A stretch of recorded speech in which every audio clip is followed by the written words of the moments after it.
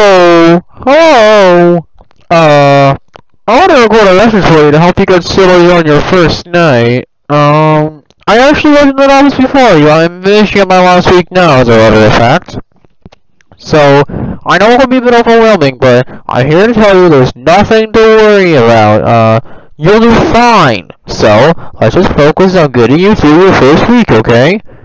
Uh, let's see. First is an introductory greeting from the company that I'm supposed to read. Uh, it's kind of a legal thing, you know. Um, welcome to Funny Fans Pizza, a magical place for kids and grown-ups alike, where fantasy and fun come to life. Fazbear Entertainment is not responsible for damage or property in prison. Upon discovering that damage or death has occurred, a missing person report will be filed within 90 days or as soon as property and premises have been thoroughly cleaned and bleached and the carpets have been replaced.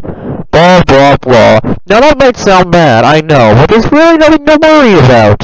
Uh, the animatronic characters here, they're a bit of a quirky at night, but I, do I blame them? No, if I were forced to sing those same stupid songs for 20 years and I never got a bath, Probably be irritable at night too. So, remember, these characters hold a special place in the hearts of children and we need to show them a little respect, right? Okay. So, just be aware the characters too tend to wander a bit. Uh, they're left in some kind of free roaming mode at night. Uh, something about their servos locking up if they get turned off for too long. Uh, they usually they used to be able to walk around during the day too, but there was a bite of 87. Yeah, it, it's amazing that the human body can live without the frontal lobe, you know.